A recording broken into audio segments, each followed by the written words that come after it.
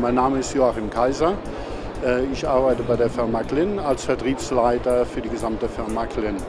Glynn hat seine eigene Memory-Linie mit dem Markennamen Xmore. Wir haben hier eigene Memories designt, die mehr äh, Ansprüche der Industriekunden erfüllen. Und zwar Langfristverfügbarkeit, eine fixe BOM. Unsere Teile sind über viele Jahre zu bekommen, ohne dass der Kunde immer wieder neue Freigaben machen muss. Wir wollen natürlich ganz genau unseren Fokus äh, Support ist rot hier vorstellen durch unsere sehr, sehr speziellen Produkte.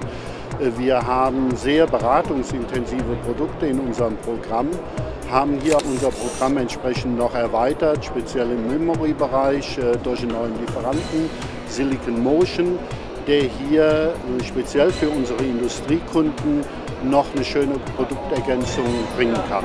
Ansonsten bieten wir unsere Kunden die kompletten Produkte, angefangen vom Display über Memories, über Microcontroller, um wirklich ein komplettes Design im Industriebereich abzuliefern. Äh, was wir im Moment jetzt noch weiterführen wollen in diesem Bereich ist, äh, auch wenn wir keine C-Teile haben, werden wir uns mit Supply Chain auseinandersetzen, um einfach die speziellen Produkte, die ja meist mit sehr langen Lieferzeiten behaftet sind, unseren Kunden einfach über diese Supply Chain Lösung, Kanban, Konsi und Lieferplan besser und sicherer und langfristiger zu beschaffen.